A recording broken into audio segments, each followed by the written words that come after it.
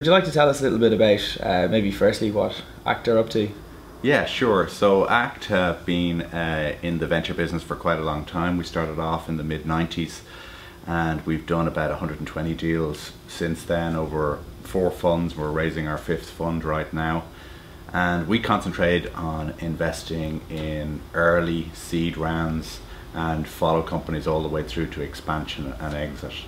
We've probably had about 50 exits at this stage and we've quite a large portfolio at the moment because we've done quite a few seed rounds and the trend over the last four years in Ireland has been uh, a growing population of seed companies which has been great.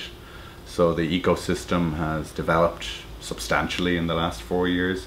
We've seen about 5x growth in the number of seed companies coming through and uh, it's been an exciting time across a number of different sectors and when I mentioned the ecosystem we've got uh, a high level of incubators and accelerators which have come on stream so it's really a great time for entrepreneurs to be uh, setting up new businesses uh, and looking to uh, raise money.